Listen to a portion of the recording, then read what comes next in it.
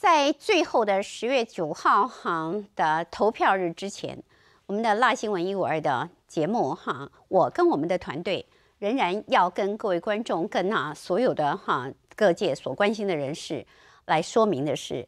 我们的节目从第一天起就邀请严清标、严宽恒、严立明以及他们相关的，甚至于连他们的发言人张宇轩、白乔英，请他们到节目来，他们都非常清楚的拒绝了。那在这个过程当中，我们所说的每一件事情都有凭有据。我们希望台湾的民主，在一个勇敢的、不畏黑道权势的媒体的。啊文化之下呢，能够走向民主大道。但是我要请教朗东的是，你比较年轻，你是近几年才开始进入政论节目。如果如果严宽恒在一月九号当选了，台湾会是一个什么样的画面？严家是什么样的欢欣鼓舞？所有他们家族所布置的这一切的啊案子，恐怕都可以哈。如入无人之地的完成他们的目标之外，台湾就要由黑道来哈掌控各个地区了耶。对啊，严宽如果当选的话，我们现在讲这些争议，对他们家来讲都是小菜一碟啦。你会说说哇，他这个沙龙大庄园有多大啊？他这个伊利文化某是怎样？再过十年之后，他家派人出来选总统都可以啦。为什么会这样讲？我们现在真正这些事情哦，很多都不是过去式，而是现在进行式。伊林文化码头，它刚刚标下来，每年大概五亿五亿左右，一直在跳钱。在包含是它电子游艺场，从过去到现在持续发生。黄昏市场不过就是二零一五年的时候的事情而已。更包含的是说，清泉岗的事情还没通过。如果通过的话，它造成的这个地目变更这样子一个状况，还有我们提到是捷运正英站啊，现在讲到说捷运正英站正旁边的这两块地，旁边都还是那山区保护区哦，直接就是严仁贤的这个土地已经比对出来了。这一连串事情说明的是什么？大家稍微发挥一点点想象力就知道了是说，严家的传奇才刚开始啦。他下一步就是什么？把红派也吸收嘛。再下一步是什么？彰化、南投全部是他们家的。接下来的话，他不只选一席立委，可以选到两席，可以选到三席，甚至接下来成为台湾非常有影响力的整个政治势力。所以你会觉得这不是不可能啊。过去大家也没有想到说，严清标他可以从地方上面一个里长、乡长等级的这样一路路走上来。过了二十年，发展成现在。到了再过十年之后，再过二十年之后，整个台湾会被严家这种邪魔歪道所把持。哎，为什么我说是邪魔歪道？刚刚前一个小时寇姐她讲的话，其实让我也是蛮感动，因为我是亲眼看到说寇姐从早上那个一一早就起来准备广播节目，然后每一天下午的时候认真准备政论节目这些资料，去阅读这些新闻，对政治人物进行合理的这个监督，是每天这样做这件事情。严家需要做这些事情吗？不用啊，他坐在那边跟市政府勾结，透过滥用他的公权力，钱就从天上掉下来，而那是我们纳税人的钱啊！这就是一个正道跟邪道之间的一个差别。正道人士，我们是按照规则去走的，我们做合理的这个事情，不会去逾越法律界限，也不会试着要去踩灰色的地带。邪道的人士就是像是严光仁他们这样一家一样，遇到什么样的事情，尽量去走法律的灰色的一个界限。如果本来是不合法的，试图让它变得合法。用各种的这个权利让它变得有利。我们投票去选政治人物，是为人民服务的，不是为他自己的家族服务的。我们看到的是什么？关于我们现在所提、所讲这每个都有凭有据。我今天还发现呢，在立法院公报哦，二零一八年的这个时候，五月三十一号，严宽呢就去咨询王次长哦，国财就是现在交通部长，他那时候说什么呢？那时候又说希望是说要编列哦，这个很多的预算去处理。台中蓝线这边的关于一些继承道路的一些征收哦，以前我们看到就开始不对啊，那时候一说说我们看到那时候看到这个，我们不觉得有什么啊。我们现在把这些资讯拼凑在一起，这又是类似一零五号码头的翻版嘛？什么意思？他为什么要特别提到台中蓝线？因为现在很多继承道路是民间的地，可是政府没有钱，没有预算去收，所以他就自道路给大家，等于是等于是免费使用。那当然你要帮继承道路去争取。这个是你的这个这个权利，很多的这个人民众也希望说自己家的继承道路可以被政府征收，但重点是严宽恒为什么特别拿这件事情出来讲？为什么要特别提到说对于蓝线这件事情？你现在说台中是要做蓝线，所以那些地上物要补偿给未征收这些地主哦，是有一百多亿，剩下还是三兆或者没有低于三兆这些怎么办？所有的地主还是冤大头，所有的地主里面最大地主是你们家，你所咨询、你所针对的，你希望去做这些区段征收的最大受益者就是你们啊。所以，我们在回来去讲的是说，为什么会觉得严家这件事情是非常的这个严重？我看到林静怡啊，我觉得我最感动的一件事情呢，反而是看到他医学院时期的那个学生证，为什么看起来很清纯，看起来很温柔？那很多蓝宁人都喜欢批评林静怡说，哇，他很凶啊，还干嘛？面对严家这种人，这种不公不义，面对台湾社会这些黑暗面，真的不像寇姐，不像林静怡，或者像我一样，不凶也不行啊，因为我们看不下去啊。说实在的，很多事情都可以找轻松的方法做了。看到陈柏伟被恶意罢免，我们大家也可以当做没这件事嘛，就是这睁一只眼闭一只眼就算了嘛。我们要监督严家也是可以说不用花那么多心思，认认真真的每天去研究他们资料，这全部都是公开资料呢，没有半点是利用什么哦什么滥权啊之类去调什么国家机器去调到的，这些公开资料拼凑出来他们家的这个事业版图。然后呢，我就因为这样哦，吃上了这个官司，他就告我一零五号码头啊，要告我说什么他家欠债不还啊，这些有凭有据的事情，在合理的政治领域里面，都应该是他们家先说明。如果他说明的很清楚，我扭曲他，我编造事实，你要告我，你要判判我刑，那当然就是无所谓，那就是我的错。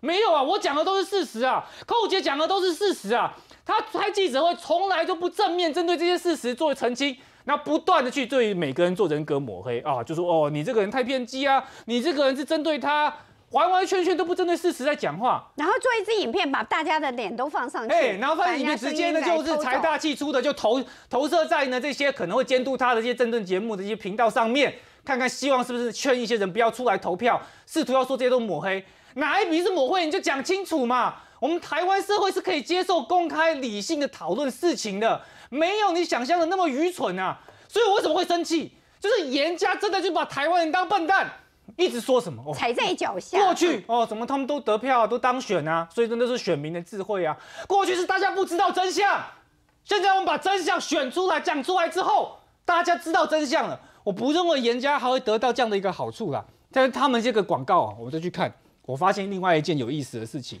这个可以被摧毁，不会被打败，观看次数十六万嘛。那我觉得很奇怪的一件事情是，按赞数四百一十七，跟底下只有九十的留言完全不成正比。为什么呢？我们来做做一个对比就知道了。本节目啊，那新闻就昨天的那一集啊，不只只要十万哦，因为他们十图片比他们十六万少哦。留言次数已经七百四十八折，按赞数两百五十两千五百一十六折，这个是一个比较正常合理的比例。意思是什么？很有可能他就是买这个观看数啊，找找这些网络机器去点啊。用这个方式去做数据，让他看起来好像他声势很强，干嘛的？去扭曲掉真实的民意。如果说真的这么多人看的话，不会这么少人按赞，也不会有这么少则这个留言啊。这个任你熟悉一点网络基本运作就知道。那为什么要做这件事？他有钱，他有钱买广告，有钱找公关公司去操作。有钱用的影片抹黑别人，还砸所有的电视台。对，那广告为什么拍一堆他的背影？讲的好像我们是他的队友一样，然后呢，他就很迎向光明的一个人走在前面，哇，这样往前冲，大家呢看着他的这个背影的话，努力的跟随去对抗什么恶势力，这完全颠倒是非黑牌啊！他本身就是这个恶势力，然后结果还用一副哦，他迎向光明，你要去迎战，他到底要迎战什么啊？你先把你家严仁贤这两块地为什么会在一个设在效益极低的正英路正英站旁边，就是你们家的地，旁边还都是保护区。你先做这件事情，做一个清楚的一个解释，然后你再跟我讲些别的这个事情嘛。然后过去这些事情，我我们其实因为是时间有限，没有办法一个一个讲。可是从他女中爱丽的事情没办法解释，一零五号码头没办法解释，清泉康没有办法解释，电子游艺场他当初没有看见，这一连串的事情，就他死因在哪里呢？一开始就是因为罢免陈伯威开始。那为什么他要罢免陈伯威？很简单啊。陈伯维短短才做两年而已，已经有非常多的成绩，而且他深受各族群，包含年轻人，多人这个喜爱。陈伯维当初的一个网络声势，是远超过什么赵少康啊、朱立伦、江启臣的总和。所以对蓝营来讲，他们非常害怕陈伯维做满四年了之后，端出成绩单，正正当当的打败严家。那你严宽恒，或是严清标，你觉得你不想要陈伯维继续当选，你就认真做选民服务。认真做到说台中乡亲都满意你，用投票的方式去决定胜负，没有你就说什么哦，他能打一千块电动输了哦，他呢过去呢有那什么交通这个事故的事件有那个纠案，哪一些十年前的事情连国中同学都挖出来，用这种高强度抹黑的这个方式一直放送，一直在骂。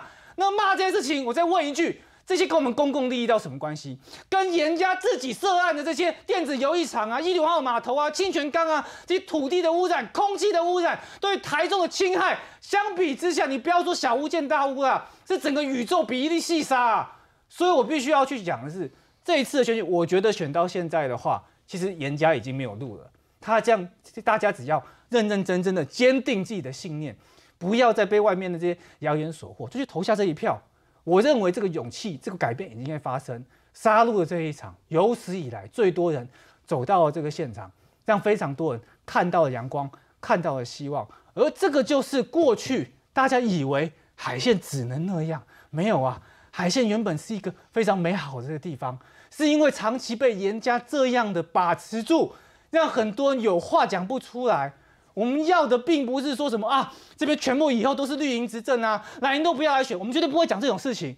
我们只希望一件事：海线的乡亲、沙鹿的乡亲，以后在参加选举的时候，可以大声的跟竞选人喊加油，不管他是蓝营的还是绿营的，他不用偷偷摸摸的要支持陈柏伟，就这样写写在手上，他不用说担心说我今天挂了林静怡的布条，隔天就有马上就能打电话来去关切。我们只希望是说，这样的一个选举，这样的一个政治环境，能够让每个人能够自由自在的发声。台湾有很多不同的族群，有人先到，有人后到，但大家都是希望台湾好啊。我们台希望台湾这块自由的土地，这块宝岛，这样子可贵的精神能够传承下去。自由最重要的是什么？就是你不要受到这些外在恶势力的威胁。你要支持严宽恒。是你的这个言论自由，但我们想要支持林静怡，也是我们的自由。为什么在台中的土地上，过去谁要去跟严宽恒选，谁对现在在地的乡亲就要受到如此庞大这个压力？这阵子以来，多少人就是说我们哦，很佩服寇姐的勇气啦，很佩服哦于北辰将军啊，很佩服我啊。其实我们觉得我们都不是最重要的，我们都不是第一线，真正需要佩服的是这些在地的这些人民。他们被这些严家长期的欺压，到了现在，终于看到一丝曙光，而他们也愿意冒着非常大的一个危险，站出来到造势的这个场合，站出来投下这一票，彻底的改变台中被严家绑架的命运。讲的真好，真正忍气吞声的就是台中的中二选区的这些台中人哎，永红。我觉得这个以前人家讲说哈，地方的坏风俗啦，拍红熊啦哈。什么叫坏风俗？就是说那种选举的文化、选举的方式，还有所谓的服务，其实就白条啊卡嘛。我因为我这几天刚刚我们朗东讲到说他的这个这个观看数跟按赞数啦，我看这个就是大概姜粉居多，机器人居多。不过我必须承认，我也有看，我其中是观看中的一个，我要看看说他到底他的 CF 拍什么哈。我必须讲，我这样回头来想，我昨天这样看他的 CF，然后刚刚听了我们寇姐跟我们俞北辰将军所讲的一席话哈。我必须说哦，你们的团队真的不是一个光明磊落的团队。刚刚寇姐跟于将军，其实我觉得有一个很大的重点，就为人就是光明磊落。不管今天我做什么事，包括寇姐过去在媒体，包括他对于不管是民进党、国民党任何的人的批评或他的坚持，包括于北辰将军过去他在他任内，他在不管是他在党务还是在军中，现在退党，他对所有在节目上所有事情的评论。我觉得很简单，就是“光明磊落”四个字，这非常重要。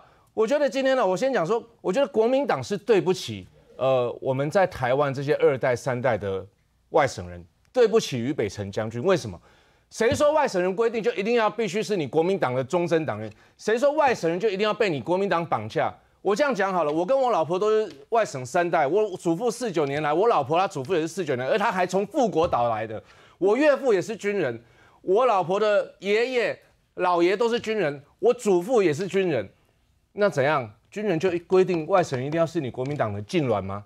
我周鸿成立，我周鸿是外省团人协会发起人，我小时候也是一样中党爱国啊。小时候写作文，严宽和也没有多年轻嘛，你也写过这个作文嘛。我们到成功岭，我还去参加比赛，就一定要讲说如何用三民主义去统一中国嘛。大家都经过那个时代，但是时代不一样。你没有觉醒，这是第一个事情。我觉得这，我觉得国民党我是看不起你。第二个我要讲的是哈，国民党以前严清标是没有国民党籍的哦。在以前，严清标是被认为是这个地方黑金势力就说我虽然国民党会跟地方势力派系合作，但是我不会让你入党嘛，所以才会有一个五党联盟嘛。哎，厉害了！现在是严宽恒是你们国民党提名的人，严宽恒是你们的党主席，然后你们的卢秀燕市长一堆人跑去站在旁边陪同他一起宣布的，这真的厉害了，国民党厉害了。这个党，林静怡的宣布是什么？我们在中执会，我们通过林静怡征召，然后林静怡在外面等，我们征召通过之后，他进来跟大家感谢，让他讲几句话。国民党提名严宽恒是所有的大佬要到他们家的服务处去啊，这个党真的神奇了。那我我就觉得奇怪，所以我觉得国民党到底你未来你是如此这样子的对待一个中党爱国过去的，然后有理念的俞北辰将军，然后你去对一个去要去让他停权，要修理他，要处理他，然后你对一个地方派系、地方黑金势力的这样子一个人二代公子。然后你去要全党的大佬是跑去那边陪他宣布参选，不是你党要征召他，叫他到中央党部来报告，不是啊。那讲回到我们这个中二选区，我刚刚讲说，光明磊落是一个很重要的事情。他的 CF 还有他过去以来一直回应到大家对他的质疑，不管是他本人也好，还是他的幕僚猪队友给他的建议也好，我觉得你违反了一个光明磊落这一件事情。第一个，他要强调就是说。他如果有任何的犯法，他就会被侦查，就会被剪掉去问。他说有吗？表示用这个来反证他没有犯法。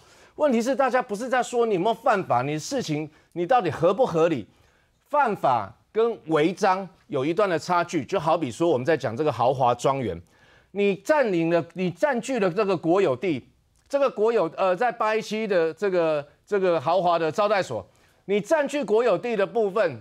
占用国有地的部分，你一直叫你还你不还，那个就是违法。但是在你没还之前，你有任何的方式，他可以叫你补照啦，干嘛补申请，那个叫做违章。违章跟违法之间有一段距离，不是说你违章就不等于不违法，而是本来就一个程序上的。我觉得你没有讲清楚。第二个，当初你是用故意用一个良民证呢？大家记得吗？在罢免的时候，为什么？因为他要凸显说，你看我是良民，不像陈伯威，他还有一个前科造逃。无聊嘛，你就不够光明磊落嘛。那如果要这样子的话，那你干脆把祖宗八代兄弟姐妹都讲出来好了。那是不是你们全家都有良民？那良民证是什么？大家我相信在座大家都申请得到良民证。重点是大家没有那样子的土地，大家家里没有那样子的争议。第三，不是说有钱就是错的。你觉得台湾人会去质疑张忠谋你是怎么有钱的吗？不会质疑张忠谋怎么有钱，会质疑任何一个科技公司的大老板说你是怎么有钱的吗？不会质疑，但为什么会质疑你们家？原因是因为说实在，你要告诉我你们的生财之道是什么？你要告诉全台湾人，是因为你们很会盖房子，你们很会做土地规划，还是你们会做生产这个电子科技产业的产品？我觉得这个可以说清楚，但你选择的是沉默，你的团队选择是沉默。我觉得候选人不一定要自己讲。但是发言人要出来讲，收发发言人讲过几次之后就躲起来了嘛。一个有了发言人的系统的人，然后自己偶尔啊，其实有点常讲错话，然后又不让发言人出来讲，这个是有点奇怪。再来，不是说有一个好爸爸或者有一个不好的爸爸是你的错，当然不是啊。但重点是有一个好爸爸，有一个有钱的爸爸，他来栽培你，然后因着你的什么样子专长，所以你要出来做民意代表，替大家服务。有人会讲说，你看这个苏贞昌女儿也是立委啊，你看这个蔡启芳的儿子也是立委啊，拍谁哦？让台大法律系，我们都还没有去质疑你的学历，美国的学历。如果像，因为现在大家已经太多质疑，没有质疑你。如果再来检视你的学历，我们就要问了，那你去美国念书，到底你的托福考几分？你的 GRE 考几分？赵少康最近不是针对大家回应，他还要去讲说我当年 GRE 考几分吗？那大家现在还没有质疑到你这一块。再来，当然你可以去护持庙宇，我用护持哦，任何人都可以护持庙宇。但是我们看全台湾有哪一间的庙宇，它的这个财产申报是四十年如一日，连个位数都没有变吗？尤其那是一个大家都会去的，不要用这个来绑架大家。为什么说绑架？因为每一个人，我们是去拜神明，去拜妈祖，不是去拜哪一个民间的凡人，不管是谁做董事长、副董事长。那我觉得地方长期以来就是在这种人情的包袱、威吓、恐惧之下，才会发生说啊，为什么这么多这么多年大家都是选我啊？然后才会发生说，为什么林静怡去选，或者过去陈伯去选的时候，大家都要噤声不敢讲话。世凯更惨，还要穿防弹衣。这是一个很扭曲的。我讲一个例子，我们那时候有地方的记者，就是刚好那个有个媒体，网络媒体写了一篇跟他们家有关的报道。那当然，那个那个地方的记者说不是他写的，但是他只是他讲了一个很奇怪，他说他觉得这个社会病了。他说是不是我写的不重要，重要是我身为一个记者，如果是我写的，我需要接到这么多被关切的电话吗？这才是重点嘛！这个社会、这个地方是不是病了？是因为老百姓病了，还是有人让这个地方病了？这个是我们要导正的嘛？为什么每一个人都要有要心怀恐惧？这个才是问题嘛！